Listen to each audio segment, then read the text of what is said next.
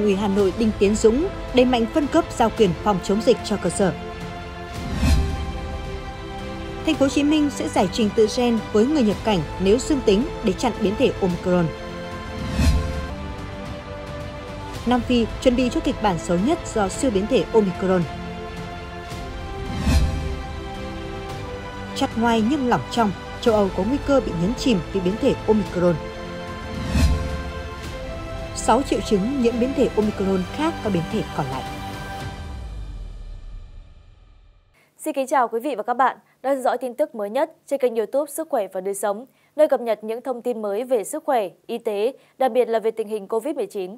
Ở đầu chương trình là những điểm tin chính sẽ có trong bản tin ngày hôm nay. Còn ngay sau đây, mời quý vị đến với nội dung chi tiết. Mở đầu bản tin, chúng tôi sẽ gửi tới quý vị thông tin liên quan tới tình hình COVID-19 hiện nay ở Hà Nội và những biện pháp ứng phó của thành phố trước diễn biến hiện nay. Theo đó, tại kết luận hội nghị thường trực Thành ủy về công tác phòng chống dịch COVID-19, Bí thư Thành ủy Hà Nội Đinh Tiến Dũng nói cần đẩy mạnh phân cấp, giao quyền phòng chống dịch cho cơ sở. Trao đổi với báo chí về kết quả phiên họp, Bí thư Thành ủy Đinh Tiến Dũng cho biết, giai đoạn từ ngày 11 tháng 10 đến nay, số ca mắc SARS-CoV-2 trên địa bàn thành phố tăng mạnh với hơn 9.300 ca, bình quân 173 ca một ngày, trong đó gần 40% số ca ngoài cộng đồng. Đặc biệt, trong tuần từ ngày 29 tháng 11 đến ngày 5 tháng 12 năm 2021, số ca mắc mới dao động ở mức từ 400 đến 600 ca. Đến ngày 6 tháng 12, ghi nhận số ca mắc kỷ lục 774 ca. Thành phố vẫn còn 60 điểm phong tỏa, 9 chùm ca bệnh và con số này sẽ chưa dừng lại. Bí thư Thành ủy nói, có thể nói, dịch COVID-19 trên địa bàn thủ đô đang diễn ra phức tạp, nghiêm trọng và gây khó khăn rất lớn cho công tác truy vết, khoanh vùng và kiểm soát. Trước tình hình đó, chỉ đạo những nhiệm vụ giải pháp trọng tâm trong phòng chống COVID-19 những ngày tới, thay mặt Thường trực Thành ủy Hà Nội, Bí thư Thành ủy Đinh Tiến Dũng yêu cầu các cấp, các ngành quán triệt sâu sắc quan điểm phòng chống dịch COVID-19, phải tập trung từ gốc là cơ sở, phường, xã, thị trấn, thôn, tổ dân phố, thậm chí tới từng hộ gia đình, lấy người dân là chủ thể, trung tâm của mọi biện pháp. Thường trực Thành ủy yêu cầu Ban cán sự Đảng Ủy ban dân thành phố, Sở chỉ huy công tác phòng chống dịch COVID-19 thành phố tổ chức họp trong thời gian sớm nhất để quán triệt bảo đảm thống nhất đồng bộ toàn diện trong cả hệ thống chính trị về tinh thần này. Ủy ban dân thành phố ban hành văn bản làm rõ quy định về phân cấp, giao quyền trong xác định mức độ dịch và quyết định áp dụng các biện pháp phòng chống dịch theo cấp độ dịch trên địa bàn cho Ủy ban dân các quận, huyện, thị xã. Cần thiết lập tổ chức tập huấn, huấn luyện phương án cách thức xử lý tình huống dịch bệnh phát sinh cho địa phương. Đặc biệt chú trọng kế hoạch tăng cường thanh tra công vụ đột xuất để đánh giá trách nhiệm tập thể cá nhân, kịp thời biểu dương khen thưởng nơi làm tốt và phê bình kỷ luật nghiêm đối với nơi còn yếu kém những vấn đề công việc thuộc thẩm quyền phải chủ động xem xét, đánh giá và ra quyết định, tuyệt đối không được đùn đẩy, né tránh trách nhiệm. Tập trung phân loại nhanh các F0, cập nhật ngay dữ liệu lên hệ thống và phối hợp thường xuyên để phân tầng điều trị, bảo đảm chính xác kịp thời, nâng cao năng lực điều trị tại các tầng, hạn chế đến mức thấp nhất tử vong. Tuyệt đối không để các F0 thể nhẹ lên tuyến trên gây quá tải cho các tầng điều trị bệnh nhân nặng hơn, ảnh hưởng đến hiệu quả công tác phòng chống dịch chung của thành phố. Bí thư Thành ủy Đinh Tiến Dũng lưu ý Ban cán sự Đảng Ủy ban dân thành phố chỉ đạo đẩy nhanh tiến độ tiêm mũi 1 vaccine phòng COVID-19 cho những người chưa được tiêm, nhất là những người có bệnh nền và học sinh cấp trung học cơ sở. Tiêm mũi 2 cho học sinh cấp trung học phổ thông đủ điều kiện và sẵn sàng tiêm mũi 3 cho đối tượng ưu tiên theo hướng dẫn của Bộ Y tế. Thưa quý vị, hiện nay, trước diễn biến mới của dịch COVID-19, biến thể Omicron xuất hiện, nhiều nước trên thế giới khẩn trương đưa ra các biện pháp ứng phó. Việt Nam cũng đang lên những kế hoạch ứng phó với biến thể mới. Cùng với đó, thành phố Hồ Chí Minh đưa ra biện pháp giải trình gen với người nhập cảnh nếu dương tính để ngăn chặn biến thể mới này. Tại họp báo Ban chỉ đạo phòng chống dịch COVID-19 thành phố Hồ Chí Minh, Phó Giám đốc Trung tâm Kiểm soát bệnh tật thành phố HCDC Nguyễn Hồng Tâm cho hay, hiện tại biến chủng mới Omicron vẫn chưa xuất hiện tại Việt Nam. Trước thực trạng nhiều nước lân cận có ca nhiễm liên quan đến biến chủng này, ngành y tế thành phố Hồ Chí Minh đã lên kế hoạch ngăn chặn biến chủng Omicron xâm nhập vào nước ta thông qua đường biên giới. Cụ thể, đối với nguồn nhập cảnh chính thức, người từ nước ngoài đến Việt Nam sẽ được yêu cầu tiêm đủ liều vaccine quy định, đồng thời phải cách ly 7 ngày tập trung và 7 ngày tại nhà. Riêng đường hàng hải, người nhập cảnh nếu không lên bờ sẽ được cách ly tại tàu. HCDC cũng phối hợp với Bệnh viện Bệnh nhiệt đới giải trình tự gen đối với trường hợp nhập cảnh dương tính. Để đối phó với nguồn lây thông qua nhập cảnh trái phép, ngành y tế đã phối hợp với lực lượng công an để ra soát, theo dõi, phát hiện cách ly tuyệt đối những trường hợp này. đồng thời tiến hành giải trình tự gen đối với các ca dương tính.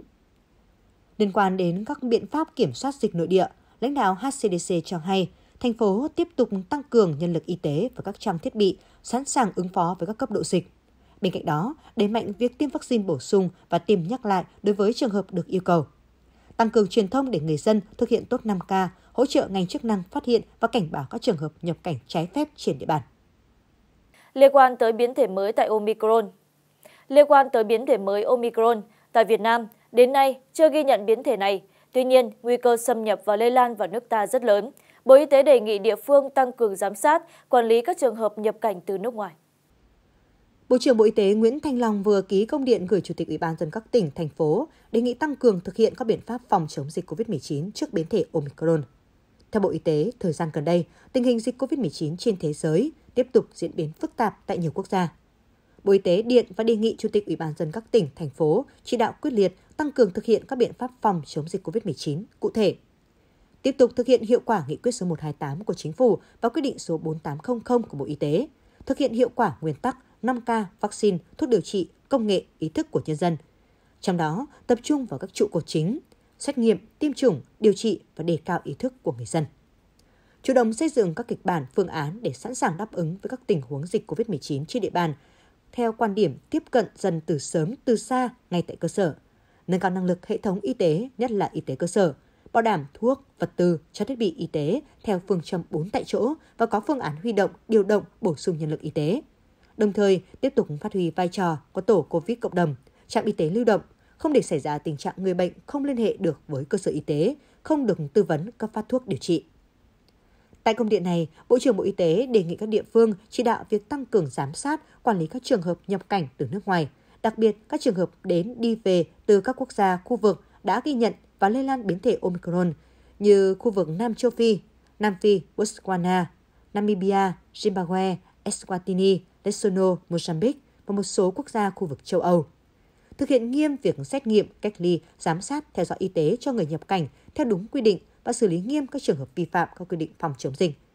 Tăng cường giám sát trọng điểm hội chứng cúm, viêm phổi nặng do virus, giám sát dựa vào sự kiện, thực hiện lấy mẫu xét nghiệm các trường hợp nghi ngờ có biểu hiện ho, sốt nhằm phát hiện sớm các trường hợp mắc COVID-19. Chủ động gửi mẫu bệnh phẩm nghi ngờ nhiễm biến thể Omicron đến Viện Vệ sinh Dịch tễ, Viện Pasteur để tiến hành xét nghiệm, giải trình tự gen khẳng định.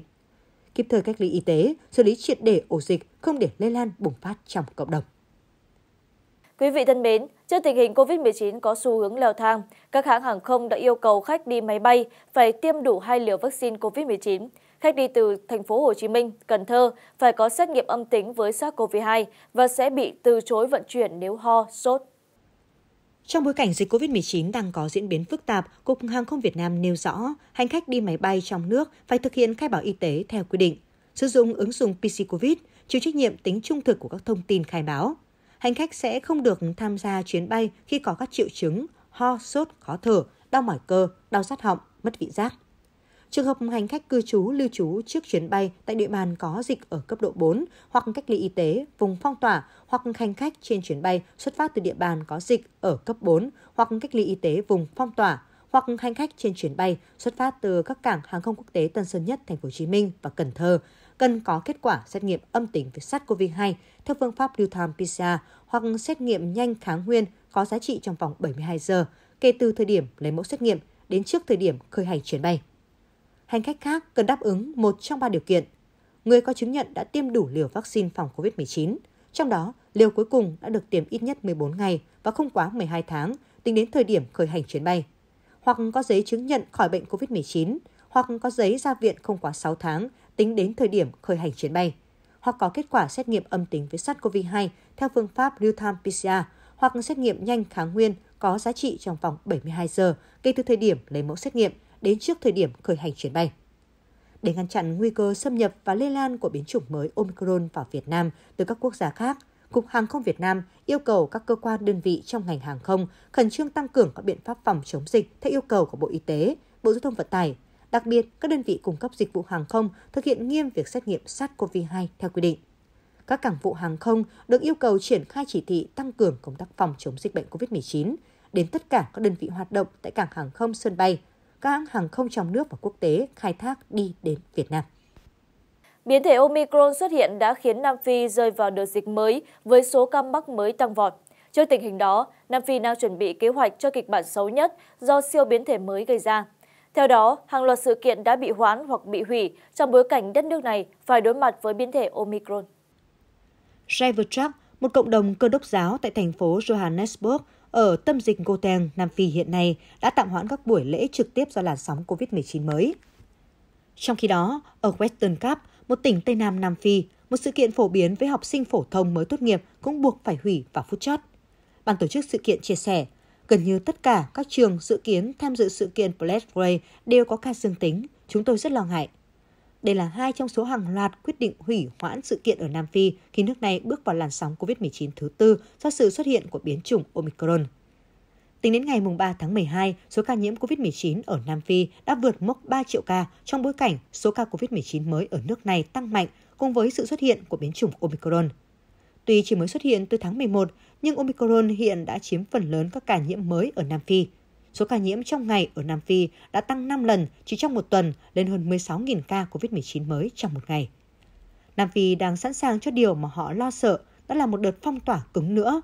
Nhiều doanh nghiệp lo ngại về những hệ quả kinh tế do các lệnh hạn chế mới gây ra. Giới chức Nam Phi vẫn chưa có dấu hiệu cho thấy họ đang cân nhắc một đợt phong tỏa khác, nhưng nhiều người cho rằng Tổng thống Ramaphosa có thể công bố lệnh phong tỏa mới trong bài phát biểu sắp tới. Trong khi chưa có quyết định liệu có áp một đợt phong tỏa mới hay không, chính phủ Nam Phi đã hối thúc người dân nhanh chóng tiêm chủng để hạn chế đà lây lan của Omicron. Tiếp tục với thông tin liên quan tới biến thể Omicron trên thế giới. Khi biến thể đáng lo ngại này xuất hiện, nhiều nước châu Âu đã áp dụng hạn chế đi lại đối với khu vực miền Nam châu Phi, nhưng vẫn lơ là áp dụng các biện pháp phòng dịch trong nước. Biến thể mới Omicron của virus SARS-CoV-2 đã xuất hiện tại ít nhất 45 quốc gia và vùng lãnh thổ trên thế giới. Trong những ngày gần đây, Mỹ và phần lớn châu Âu đều ghi nhận các ca nhiễm Omicron mới. Khi ngày càng có nhiều quốc gia báo cáo các ca nhiễm Omicron, các hạn chế nghiêm ngặt hơn đang phủ bóng kỳ nghỉ lễ sắp tới, thời điểm của nhiều người hy vọng rằng cuộc sống sẽ trở lại trạng thái bình thường. Tiến sĩ Peter J. Hoster, hiệu trưởng trường y học nhiệt đới quốc gia thuộc Đại học E. Baylor, cho biết số ca nhiễm biến thể Omicron hiện nay vẫn quá nhỏ để xác định mức tăng số ca bệnh trong thời gian tới. Ông Hotter cho rằng, vài trăm ca nhiễm Omicron chỉ là một phần nhỏ trong số khoảng 44.000 ca mắc COVID-19 mới mỗi ngày ở Anh và chưa đủ dữ liệu để kết luận biến thể này có nguy hiểm hơn Delta hay không. Chuyên gia Hotter cũng cảnh báo rằng sẽ là điều đáng lo ngại nếu số ca nhiễm Omicron tăng bằng 10% số ca nhiễm Delta vào cuối tuần này. Ngay cả trước khi phát hiện ra biến thể mới, một số chuyên gia y tế đã lưu ý rằng các quy định hạn chế đi lại của châu Âu không đủ để ngăn chặn sự gia tăng số ca mắc bệnh. Một số nước châu Âu có thể đang phải trả giá vì không tái áp dụng các hạn chế phòng dịch như đeo khẩu trang trong nhà, giãn cách xã hội và yêu cầu người dân cách ly ở nhà nếu từng tiếp xúc với người mắc bệnh. Với diễn biến phức tạp của dịch COVID-19 tại Mỹ, nước này đã đưa ra khuyến cáo cho người dân không nên đến các nước có nguy cơ rất cao. Mới đây, Mỹ thêm 6 nước vào nhóm nguy cơ rất cao, không nên đến này. Hiện tại đã có 83 quốc gia bị Mỹ liệt kê vào danh sách những điểm đến ở cấp độ 4, nguy cơ rất cao lây nhiễm COVID-19. Trung tâm Kiểm soát và Phòng ngừa Dịch bệnh Mỹ CDC khuyên cáo người dân không đến Pháp, Rodan, Bồ Đào Nha và Tanzania do lo ngại dịch COVID-19. Hiện tại đã có 83 quốc gia được CDC liệt kê vào danh sách cấp độ 4 nguy cơ rất cao. Ngày hôm qua, mùng 6 tháng 12, Mỹ cũng đã thêm Andorra, Cyprus và Liechtenstein vào danh sách hạn chế này. Mỹ đã áp đặt các quy định mới, yêu cầu khách du lịch qua đường hàng không quốc tế đến Mỹ phải có xét nghiệm COVID-19 âm tính trong vòng một ngày trước khi bay. Các quy định trước đây yêu cầu khách du lịch qua đường hàng không quốc tế chỉ cần đã tiêm phòng đầy đủ và có kết quả xét nghiệm âm tính trong vòng 3 ngày trước khi khởi hành. Theo lãnh đạo của các hãng hàng không, khoảng thời gian 3 ngày sẽ thuận tiện hơn đối với các du khách tới Mỹ. Ngày 29 tháng 11, Nhà Trắng đã ban hành lệnh cấm nhập cảnh đối với công dân đến từ 8 quốc gia miền Nam châu Phi do lo ngại về sự lây lan của biến thể Omicron, nhưng không áp dụng lệnh hạn chế đi lại này đối với các quốc gia khác có ghi nhận biến thể mới. Phát ngôn viên của Nhà Trắng bà Jen Psaki cho biết các hạn chế đi lại ở châu Phi vẫn đang được cân nhắc và thảo luận hàng ngày. Thưa quý vị, biến thể Omicron đã lây lan ra hàng chục quốc gia trên thế giới, khiến nhiều nước áp dụng hạn chế đi lại do các nhà khoa học vẫn chưa chắc chắn về tác động của Omicron khi số ca mắc COVID-19 tiếp tục gia tăng. Theo các chuyên gia, triệu chứng mắc biến thể Omicron khác với các biến thể mà chúng ta đã trải qua trước đây. Nhưng chúng khác nhau như thế nào và đâu là dấu hiệu đáng chú ý về biến thể Omicron? Mời quý vị theo dõi ngay sau đây. Omicron đã được Tổ chức Y tế Thế giới WHO coi là một biến thể đáng lo ngại. Điều này là do chủng mới có một số đột biến có thể ảnh hưởng đến cách nó hoạt động, chẳng hạn như mức độ lây lan dễ dàng hoặc mức độ nghiêm trọng của bệnh tật mà nó gây ra. Theo các chuyên gia, triệu chứng mắc biến thể Omicron khác với các biến thể mà chúng ta đã trải qua trước đây. Theo tờ Daily Record, các dấu hiệu của biến thể Omicron là mệt mỏi. Sự mệt mỏi cùng cực có liên quan đến biến thể mới. Triệu chứng này cũng liên quan đến các triệu chứng trước đó, kéo dài từ 5 đến 8 ngày cùng với các biến thể khác trong hầu hết các trường hợp. Tuy nhiên, một số người vẫn có thể cảm thấy mệt mỏi trong vài tuần sau khi bị nhiễm bệnh. Mặc dù vậy, vẫn chưa rõ tình trạng mệt mỏi có thể kéo dài bao lâu nếu ai đó có kết quả xét nghiệm dương tính với biến thể Omicron. Đau nhức toàn thân Giống như chủng virus ban đầu, những bệnh nhân bị nhiễm Omicron đã báo cáo về việc bị đau nhức cơ thể. Một lần nữa, triệu chứng này thường chỉ kéo dài vài ngày với các biến thể khác. Đau đầu Những người bị nhiễm biến thể Omicron cho biết một trong những triệu chứng là đau đầu. Các nhà nghiên cứu trước đây đã phát hiện ra rằng những người bị COVID-19 có xu hướng bị đau đầu từ mức độ trung bình đến nặng hoặc cảm thấy đau nhói. Ngứa họng Chuyên gia y tế Nam Phi, tiến sĩ Angelis Kores, người đầu tiên đưa ra cảnh báo về biến thể Omicron cho biết các bệnh nhân báo cáo bị ngứa họng nhưng không ho khi bị nhiễm biến thể này. Triệu chứng này hơi khác so với các chủng trước đây. Uống paracetamol và uống nhiều nước sẽ giúp giảm đau. Chảy nước mũi Mặc dù là một triệu chứng của cảm lạnh thông thường hoặc cúm sổ mũi cũng có liên quan đến nhiễm biến thể Omicron. Nhiễm virus khiến mũi tiết ra nhiều chất nhảy hơn để bẫy và sửa sạch các phân tử virus. Hát hơi. Một lần nữa, triệu chứng này có thể dễ bị nhầm lẫn là dấu hiệu của cảm lạnh hoặc cúm, nhưng trong một số trường hợp, nó có thể là dấu hiệu của nhiễm biến thể Omicron. Thưa quý vị, sự xuất hiện của biến thể mới Omicron đã khiến cả thế giới phải gấp rút giải mã và nhanh chóng đưa ra các biện pháp ứng phó mới. Tuy nhiên, chưa có kết luận cuối cùng về biến thể này. Vì vậy, quý vị cũng đừng quá lo lắng. Trong bối cảnh hiện tại, quý vị hãy giữ gìn sức khỏe, tuân thủ quy định phòng chống dịch và cập nhật những thông tin mới nhất từ Bộ Y tế. Cảm ơn quý vị đã dành thời gian theo dõi chương trình. Xin chào và hẹn gặp lại.